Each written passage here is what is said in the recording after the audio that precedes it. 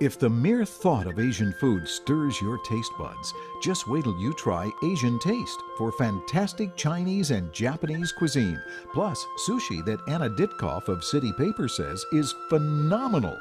Asian Taste offering discounts on private party catering too.